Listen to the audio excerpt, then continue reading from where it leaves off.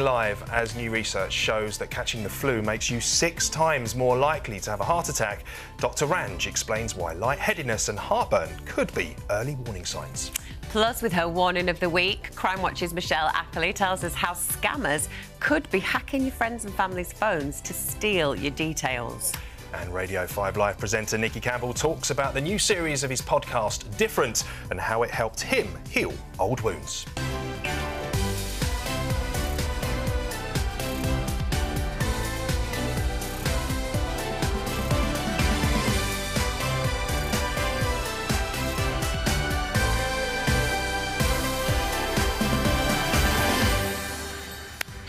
And welcome to Morning Live with myself and Rav today and tomorrow. Two days together, looking forward to it. That's It's a gonna be treat. We don't get to do that very much, do we? About time too. Yeah, it's going to be nice. And we're joined by a team of experts this morning. We've got Dr. Ranj, and we've got my partner in crime next to you, Michelle Ackerley. Good to see you, Ackers. And Strictly choreographer Maria as well. Good morning Good to morning. you. morning. all. All morning. But we've talked about something on the show before, and this is the nationwide emergency alert. And we're all going to be getting it going through to our mobiles. But Michelle, we've got a bit of an update as to when we're going to hear this. Yeah, Haven't- totally. We were hearing on BBC Breakfast earlier, weren't we, that the government have announced that they're going to be testing the emergency siren on the 23rd of April. Today, they've told us that that's going to be at 3 p.m. I think originally it was going to be in the morning at 9:30. No one wants to be waking up too early on a Sunday morning. Hey, we've got young kids. The we, we've of both a been awake. You're used to it. I'm not used to it. Now, you're not going to need to do anything. Your phone is going to sound an alarm for 10 seconds. Mm-hmm. It's just a test. So, in the future, if there are events like flash floods, wildfires, or terrorism, this is a way to be alerted. Now, some domestic violence campaigners have said that they're worried about sufferers of domestic abuse who may have a hidden phone. They might not want that alarm going off. So, the charity Refuge has shared a video of, of how to turn that off. That's great, actually, that Yeah. they've drawn attention to that, isn't it? And we will give you another little reminder close to the time of when that alert is actually going to be happening. Um, also on the show today, the Easter bank holiday kicks off tomorrow, and with a little bit of luck, there might be a touch of sunshine. I can see it It's trying, trying. to break through. It's, it's trying. Uh, well, spring is the perfect time to turn our attention to plants. So in 20 minutes, our gardener, Mark Lane, is going to hold a lovely little viewer clinic. I like this. Good morning, Mark. Good Morning, Mark. Morning, Matt. Good morning, Lee. Yeah, I've taken a dive into the main live viewing box, and I'll be answering your question on everything from getting your daffs to bloom and also how to water your plants even when you're not at home. Ooh, that Nice. Sounds good. Thank you Thank for that, you. Mark. And if you do have any questions for Mark, please do get in touch in all the usual ways. Plus, we're looking into what's happened to the so called ghost children who've disappeared from the school system since the pandemic.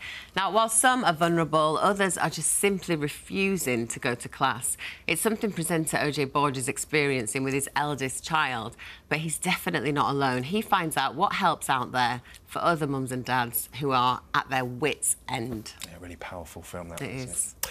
Plus, we have a history lesson with a difference. Our star baker, Bryony May Williams, is going on a pilgrimage in about 25 minutes to find out why hot cross buns became such a special Easter treat and the centuries old secret to making them so tasty. And grab the popcorn because it's Yes. movie week. Uh, Maria, what are we going to be doing today? So today we're going to be working up our upper body, and our, everyone needs to join. It's going to be lots and lots Moana of fun. is Moana. a big favourite in my household, so I can take some moves back to the boys They today. will love it. Definitely. They will Looking love forward it. to Big it. favourite in my house They too. we'll have a bit of fun with that later. Definitely. As long as we don't have to wear what Ugo wore there as well, right? Costumes. full Terrifying. costumes.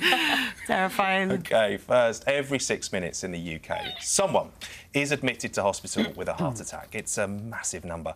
But the sooner you can get treatment, the better your chance of survival. In just a moment, we're going to be learning some of the signs to look out for. But first, Dr. Ranj, there has been some new research into what can actually cause a heart attack. Yeah, so a heart attack happens when there's a problem in the blood supply to the heart. Interestingly, the number of heart attacks actually goes up during the winter. Lots of different reasons for that.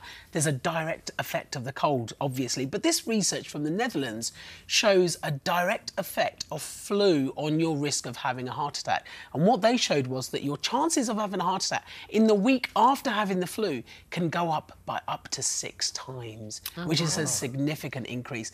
Why is that? Lots of theories. Expert think, experts think it could be a combination of the body's response to the flu virus and how it fights it off. It could be because when you're unwell, especially when you've got flu, it puts extra strain on your heart and lungs. That increases your risk. Mm-hmm. But also because the flu virus possibly makes the blood a bit more sticky and that makes it more likely to clot and therefore block those arteries to the heart. All of this together just serves as a reminder get your flu vaccine if you're at risk, especially in those winter months. Yeah, and there's another new study today that says how the Mediterranean diet can actually lower the risk of heart attacks. But I do feel like I've been hearing this for Yeah. years. Is, is this new? Yeah, we've known this for a long time. Yeah. Uh, Mediterranean people. Mediterranean people tend to have healthier outcomes, especially when it comes to their heart health. This is a study that grouped a bunch of studies together and looked at over 35,000 people and just adds extra weight to that. They looked at six different sort of diet variations. One of them was the Mediterranean diet. And what they found was that you have a reduced risk of dying from anything, including heart attacks and strokes, irrespective of whether you're low and high risk. So, um, another thing to say basically, be careful at what you're eating. And it's quite easy to follow. All you've got to do is increase the plant based content in your diet, some more Right. fruit and veg, um, beans, lentils, whole grains, nuts, seeds, oily fish, good fats like olive oil. Reduce bad fats and especially cut down things like processed meat, sweet and salty foods as well. Quite easy little changes to Yeah, make. things that we can all do. And, and despite our best efforts, though, Ranj, they, they can and still do occur, heart attacks. So, what can we do to spot the signs? Yeah, so I suppose it's important to clarify that a heart attack is different from a cardiac arrest. A heart attack is a blood supply problem to the muscle of mm-hmm. the heart. A cardiac arrest is an electrical problem. But what can happen is when you've got a problem in the blood supply t- to the heart, it starves the heart muscle of oxygen and nutrients. That leads to damage and death of the heart muscle itself. And if it's bad enough, that can then lead to a cardiac arrest. Classic symptoms, particularly in men, will be things like chest pain, usually starts centrally, starts radiating up to the neck and down the left arm, um, shortness of breath, feeling lightheaded or dizzy, and feeling sick. And classically, a lot of people get this sense of impending doom that something seriously wrong is happening. But the important point to note is that in women, symptoms can be very different to men. Oh, really? They're more likely to have vague symptoms that come on more gradually. The pain in their chest may actually feel more like a squeezing than a pain. Often it gets confused for things like heartburn. And also, they're more likely to have symptoms that are not related to chest pain at all. So, more likely to get shortness of breath.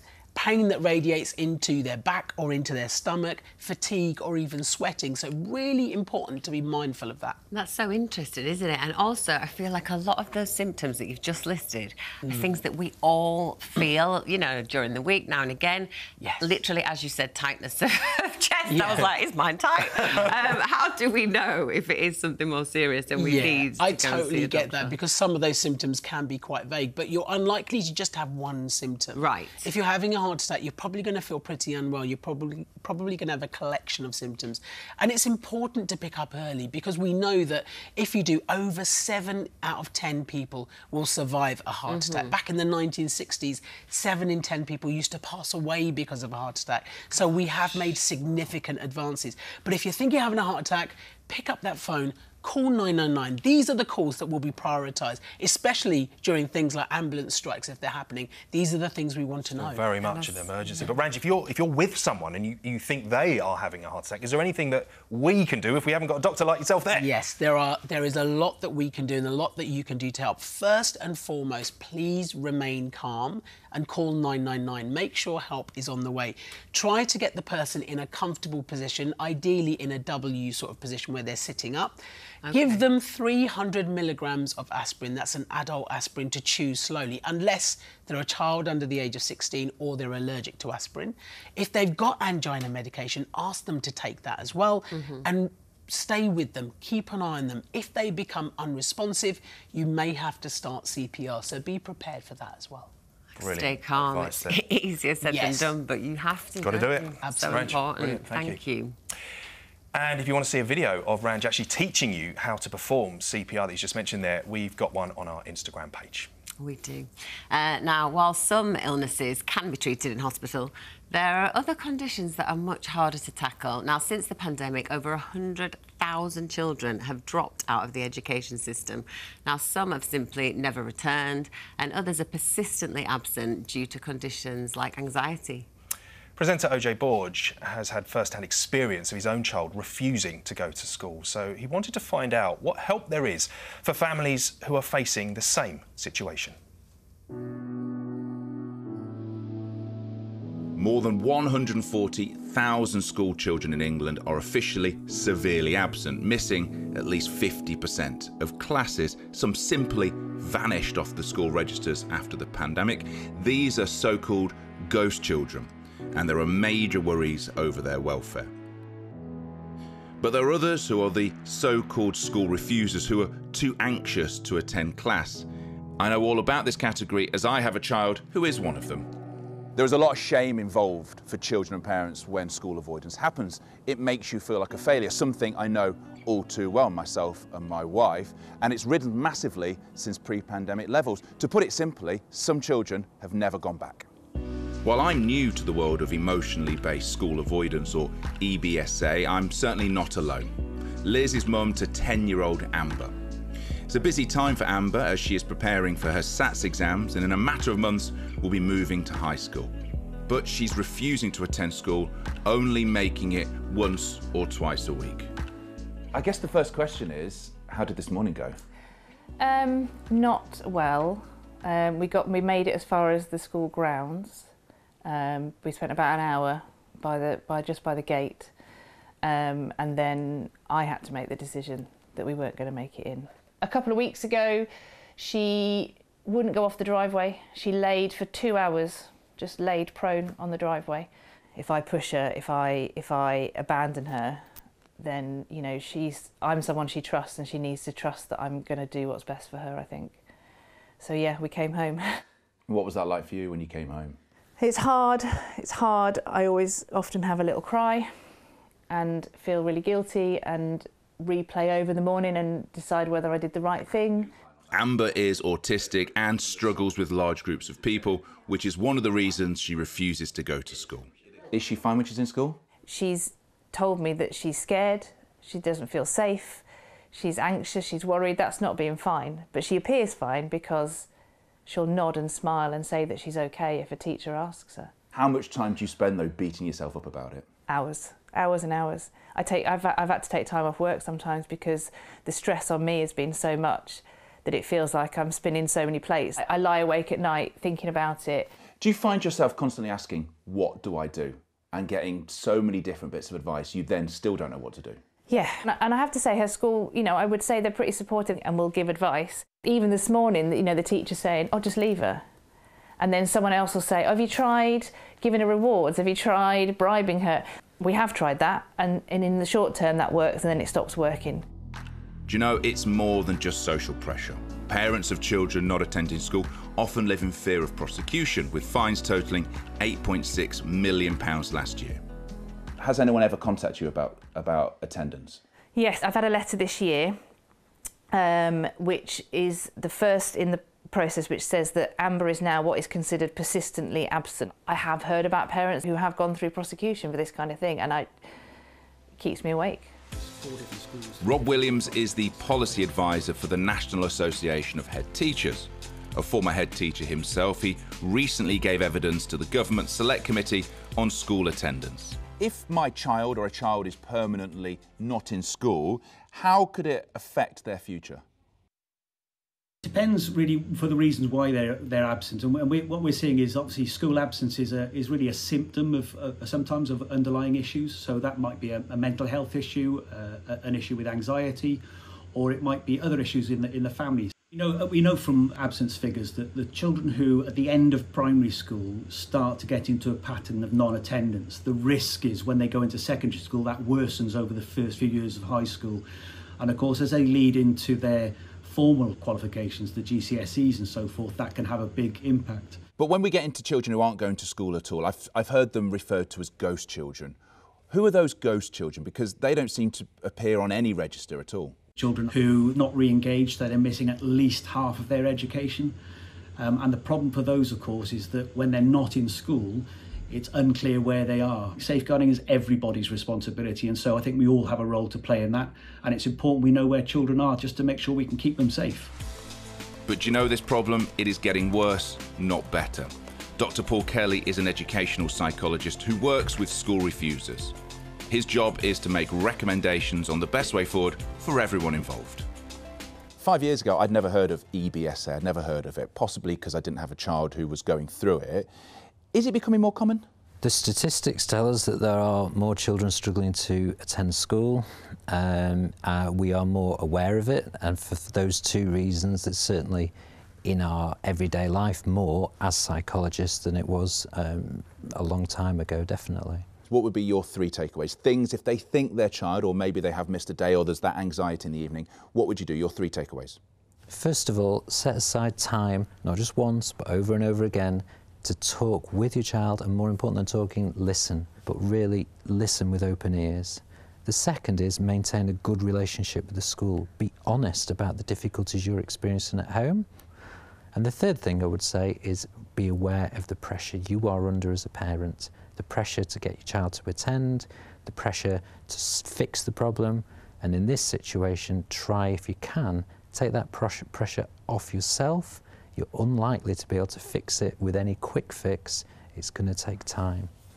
This today has been one of the most personal things that I've worked on. One thing I have learned is that it's okay. Do not beat yourself up as a parent because it's overwhelming, but there are specialists, there are people who can help you and find what is right for your child. Yeah, gosh, I've actually got a few friends who are going through a very similar thing to OJ. And, you know, the school support's so important, just having that support. It's a lot of pressure on the So family. hard. We heard it from the film there. Parents almost uh, feeling guilty, which Yeah, they shouldn't, of, of course but not. Great film, and thank you to OJ and Liz there. Really is a time to rely on family and friends, that's for sure. It is indeed. Now, we're talking about the warning of the week, and my Crime Watch co host, Michelle Ackerley, is telling us how scammers are using our friendships to con us out of money. What's going on, Michelle? Yeah, so Action Fraud have received over 60 reports relating to a scam where criminals are stealing access to a WhatsApp user's account. So this all starts by a criminal hacking into another WhatsApp user's account where your contact is on their list, so your number is in that yeah. WhatsApp holder's phone. So then the criminal will decide to have a conversation with you. They'll message you over WhatsApp, engage in a chat. At this point, there'd be no red flags or alarm bells because you've most likely got that number. think it's someone you know. your Phone, phone. yeah. Exactly. It could be a close family member, it could be your best mate, which you contact every single day. Yeah. And if the criminal's clever, they'll know the kind of language that they use and you use, and they'll mm-hmm. keep it, you know, under the radar. What will also be happening behind the scenes with the fraudster is they'll be trying to log into your WhatsApp account through your mobile number. So you'll receive a text message on your phone with a six digit code. This is essentially, you can see it on the screen yeah. now, a verification code to get into your account. And what the fraudster will do is they'll say something like, Oh, you know what I've done? I've just sent you a six digit code by mistake. I'm sorry, it's just because I've been messaging you. I've sent it to you by accident. Uh-huh. Is there any chance that you can send that code back to me?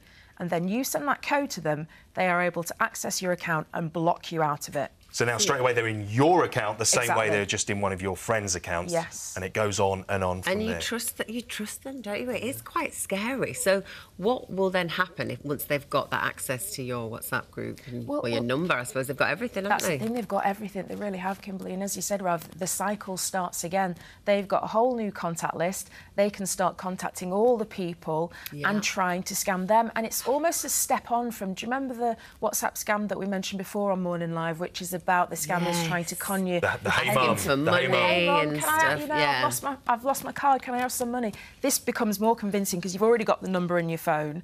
And Mm-hmm. I think sometimes we just forget how much information we exchange Yeah. in WhatsApp messages. If I think through messages that I've sent in the past, you might have your national insurance number, your driving license details, your passport information. and you so do they've got send access it to to, that. your family and friends, Do, don't you? You because it's think? easy, isn't it? So we don't want this to happen to anyone No. else. So what can we do to protect ourselves? Yeah, so there is some good news with this. We can protect ourselves. One of the first things that we all need to do is set up two step verification. Oh. Essentially, just gives you that extra layer of protection. It makes it harder for a scammer to try and scam you. So what you Oh, need yeah, to do is this on here, now. tap settings, go to account, tap two-step verification, and then enable or turn on and then you just follow the instructions from there it'll ask you for the six digit code really simple to do another thing that i would say is that unfortunately we need to start being a bit more skeptical when we're messaging people Yeah, and don't if they trust start, people. don't know and it's, It's awful, isn't to say it? isn't it but we do have to be like that especially if they start asking you for digits pin codes bank details all that kind of stuff. You should never give a six-digit Nev- code out. Never should you? give it's that away. just for you. And have a conversation over the phone. I always do like a WhatsApp video with my mum or my brother. At least I can see their face then. Yeah. You can hear Such someone's a good tip, though, isn't it? It's easy yeah. to do, really simple one to do that. exactly. Another really key thing as well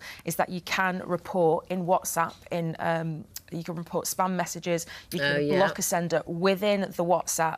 So you just need to press on the number or contact name at the top of the message, scroll down and select report, and then follow the instructions again. And you know what can you do if you've fallen victim, as many of us will, to a scam like this? Yeah, we really need to report it. The more Report, we report, report, these report. scams, the better aware and enabled that we can be. So in England, Wales, Northern Ireland, if you're a victim of fraud, you can contact Action Fraud or 0300 123 2040. In Scotland, it's Police Scotland, report it to 101. And if you have handed over any bank details, make sure you contact your bank as soon as Straight possible. away. That's Yeah, just straight away. brilliant information, and we will make sure that we put all of that information on our website. Um, thanks so much, Michelle. Thanks, Michelle. Still to come, Radio 5 Live presenter Nicky Campbell has interviewed thousands of people during his career. We spoke to him earlier today and he explained why a guest on his podcast, Different, led to one of the toughest conversations he's ever had. We're going to be showing you that in around 10 minutes' time. And she promises Strictly Fitness will be a walk in the park, or at the very least, a swim in the sea. Strictly choreographer Maria is teaching us. 100%. she loves that film. Um, First, though, we could all be getting outside more in the next couple of days with a long Easter bank holiday weekend just around the corner. And for some of us, a little bit of sun, it could be the perfect time for a spot of gardening. And our inbox is full of questions for gardener Mark Lane. So let's get straight Let's. to it. Uh, good morning, Mark.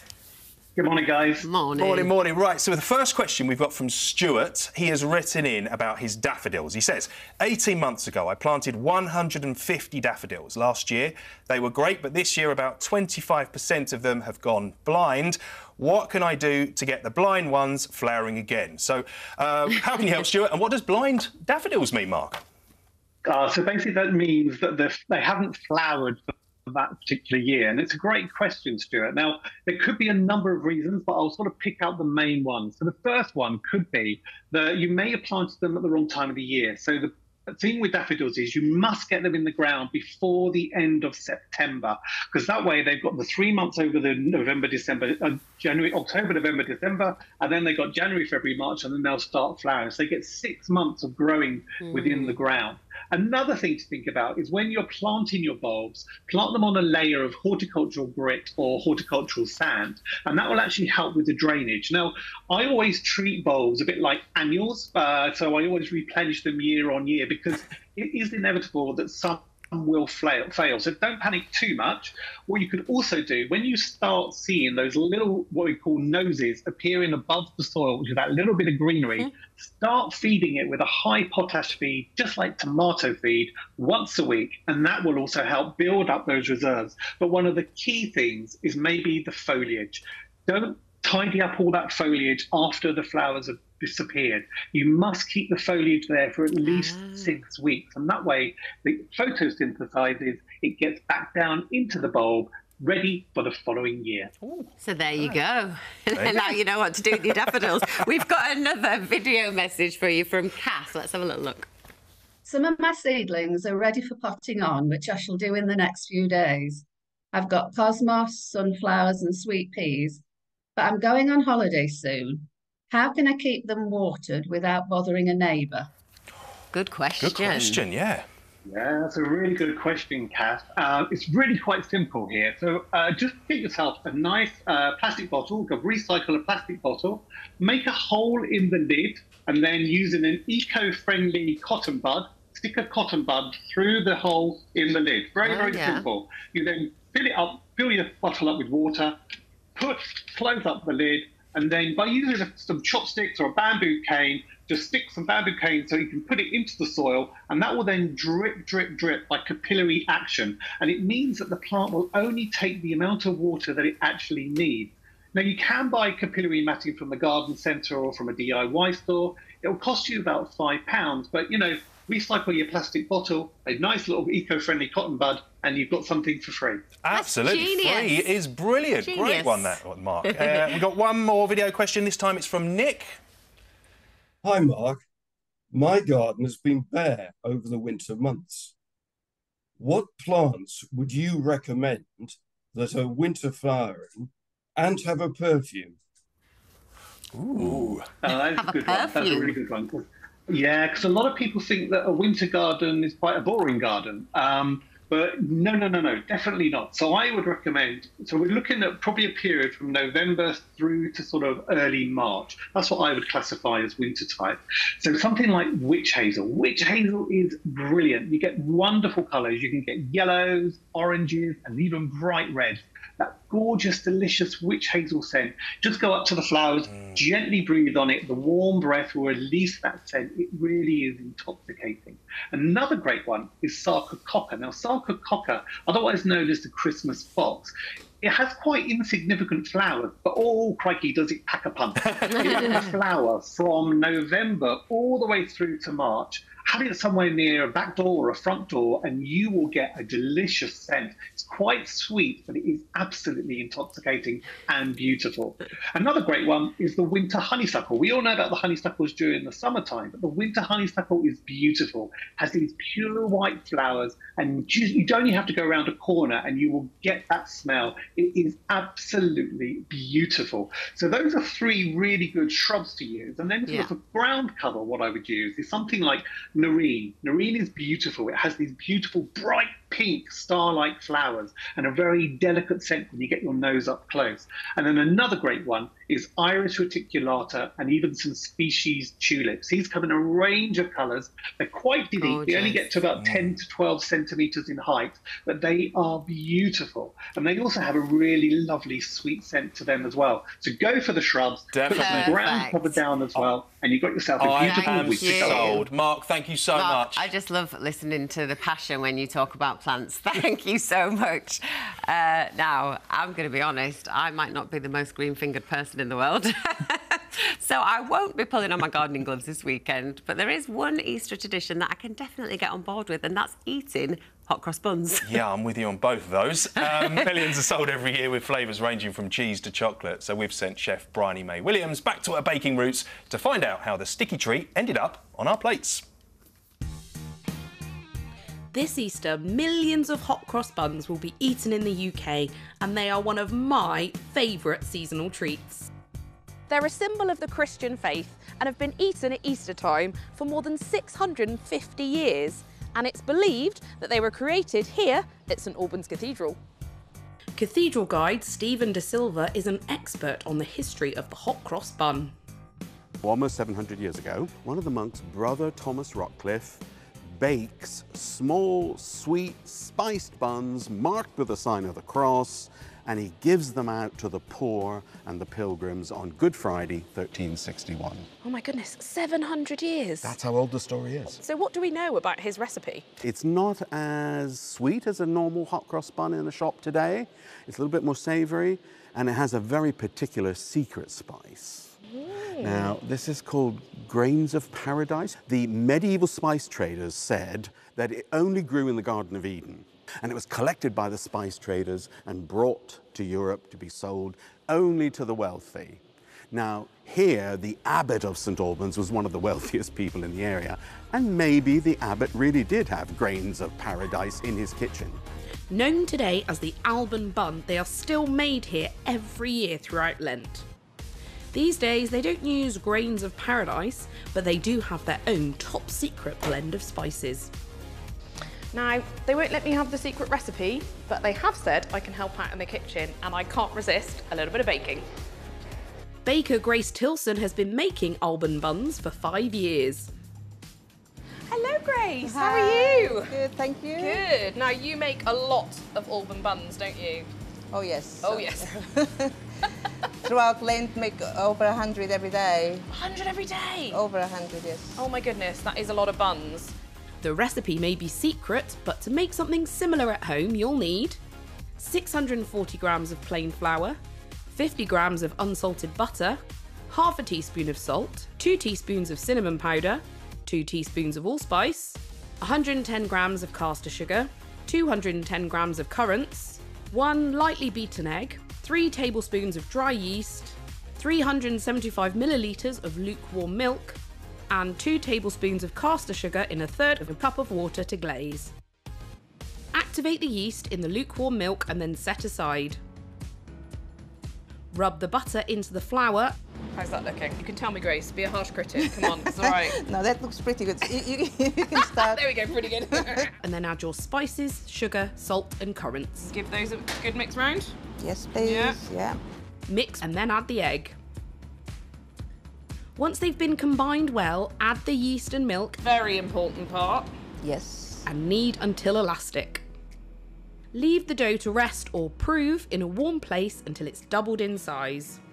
So I believe you've already very kindly prepared one that's proved and is ready to be shaped. Is that right? That's right. Yes, indeed. Excellent. Flour your surface. Right, Right, yes. you ready? I'm going to do this like a fancy chef, okay? and shape the dough into balls. So now you just flour it a little bit. Yeah. Leave to prove until it doubles in size once more. Now I'm going to cut the crosses on. Score crosses into the top and then pop in a preheated oven at 180 degrees centigrade for 22 minutes or until golden brown. Once they're done, glaze with the sugar water. And the moment of truth. That is absolutely delicious. We've rounded up a panel of cathedral staff to see what they make of Alban buns. I really like it. Lots of butter on it. Mm-hmm. What's its name? Not too sweet.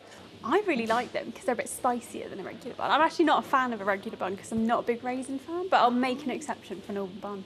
Okay, so you prefer the Alban bun over the modern I hot cross do. bun? Unpopular opinion, but yeah, I definitely do. Okay. And in terms of the symbolism of the bun, what does that mean to you? The fact that the cross is there is a reminder of what this time of the year is about. And we only serve it here during Lent and Easter. Excellent. Yeah. Fantastic.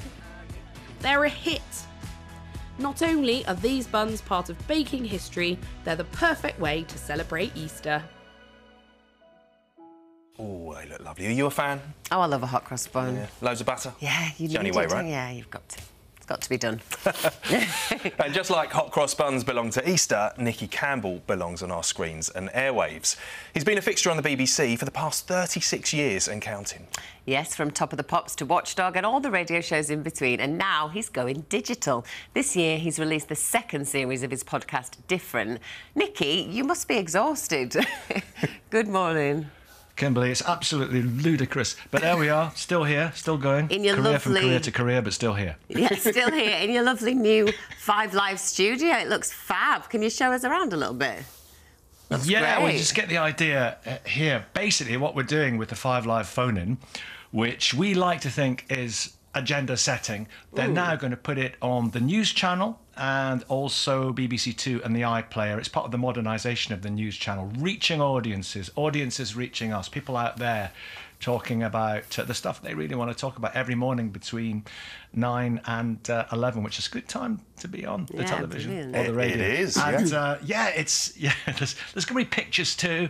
I can't wait. It's really really exciting, and I think it's it's a difficult thing. It's a difficult project to do radio on the TV, but the team working on this have been fantastic, and I I think we're going to crack it. So you can join us every morning. You can listen, and you can watch as well. Yeah, That exciting comes in. It starts in a couple of weeks. Exciting times. Well, just show us um, what it looks like in the studio, Nicky. And oh, there we go. It does look great. And while we can There see that, um, let's talk about this podcast because, of course, you're now in the second series Yes. um, that you're doing now. So, how do you pick the amazing people that appear on it? on the podcast, which Yes. is uh, separate from this, of course. But yeah, BBC Sounds, you can get that. Well, it's called different, and I just love talking to people. One of the things I've loved doing most over the years, I used to do a late night show on Radio One called Into the Night, and we'd long form interviews. You can't really do that in news. because you're going to wrap me in a minute anyway. But, uh, um, it's uh, it's great to talk to people and really get into the issues. And I just I just pick you know really really different people, and it's really wide ranging. The, the current podcast is Joy Milne, who's a super smeller. She's got an incredible genetic ability to smell beyond what normal humans can smell. Oh, wow. I mean, And, is uh, yeah, Wow. She can she can smell. They're using her in medicine. She can smell Parkinson's disease, and also she she has such detailed smell. It's almost like an animal ability to smell. And her mother could do it before her. That's and incredible. her mother before her. Like I had, um, I just washed my hands. I had soap on my hand, and I said, what? I, and I put it. What's that smell like, John? Because all, all she could smell was were the chemicals. Because we don't realise how many chemicals are in perfume and cologne and soap. She prefers natural smells. So basically, when somebody breaks wind, that is far better to her than Chanel. Oh gosh. Didn't expect that. Well, it is. It's No. fascinating, but um, yeah, crazy. I mean, I know, Nicky, that you have had some very difficult conversations on the podcast as well. Um, I think the first episode must have been incredibly tough for you. Can you just tell us a little bit about that? Wow, it's one of the most intense conversations I've ever had in my life. But basically, um, a, a lot of this, we, we've been campaigning, we've been fighting to bring um, some um, abusers to justice who taught us at our school in the 1970s. Uh, one of whom is dead, but he was my abuser and he abused many other boys. And when this all came out, and when I, I put it on the media, and I did it on the podcast as well on BBC Sounds uh, in the in the first series, um, our our abuser's daughter, um, and uh, his name was he's dead. His name was Hamish Dawson, and she got in touch and uh, reached out, as they say, and she said, "Look, anyone who suffered from my father, please get them to." In touch with me. She had a very difficult time in her family. She's an incredible woman, Jenny. And I had this this conversation with her in a studio, and it was um, it, it was just it was one of the most uh, you know genuinely one of the most incredible um, conversations I've had in my life. She was uh, r- remarkable, um, talking about her father, talking about her family.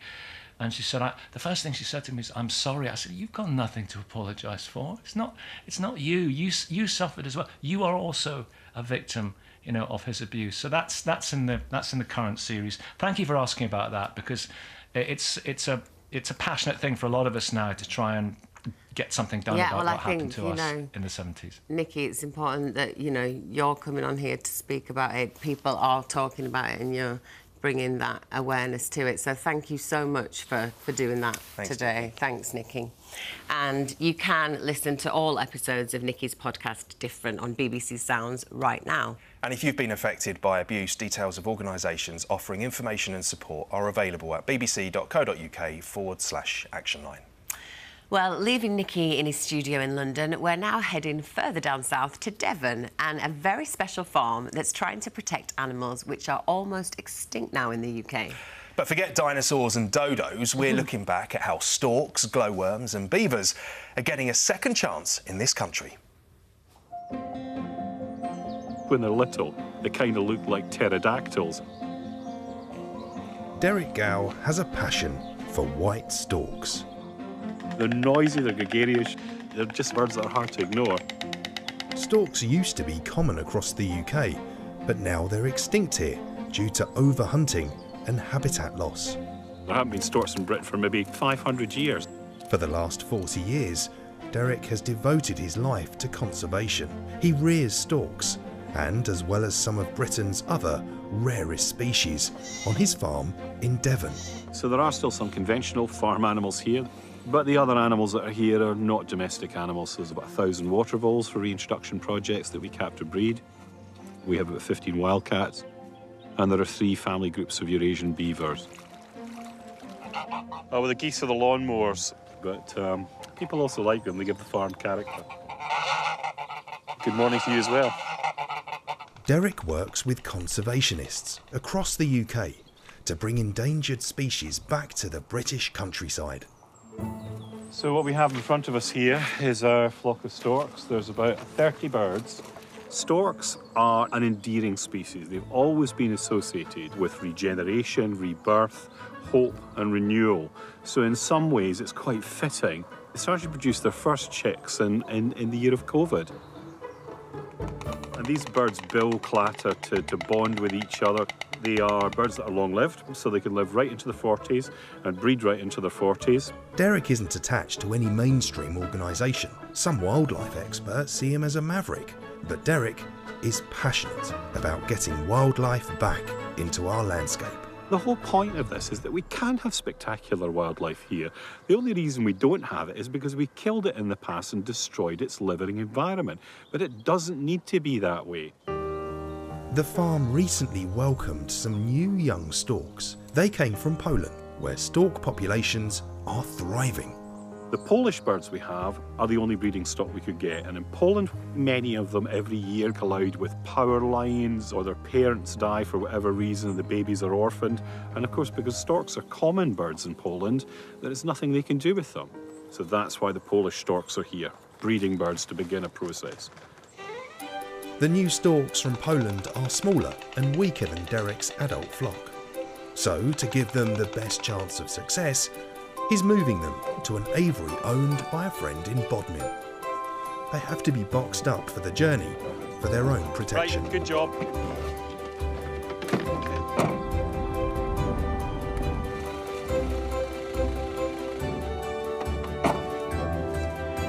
On this farm, 25 miles away, Derek knows the storks will be safer, and they've got everything they need for a happy life. What's in this pen that's particularly useful for the storks is you can see they've got really low platforms.